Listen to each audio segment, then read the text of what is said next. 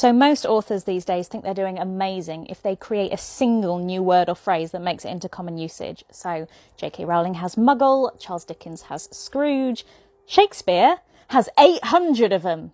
Accommodation, assassination, dislocate, eyesore, hoodwink, obscene, pedant, premeditated, reliance, submerged, in a pickle, tongue tied, bloody minded, tower of strength, laughing stock, without rhyme or reason. Good riddance, cold comfort, short shrift, dead as a doornail, early days, high time, truth will out, lie low. Critical, frugal, dwindle, extract, horrid, vast, hereditary, excellent, eventful, barefaced, lonely, leapfrog, indistinguishable, well read, and zany. And yes, some of these are going to be not ones that he made up, but just he was the first person to write them down. But he's doing this at a much higher rate than other people writing at the time. So he was making most of these up.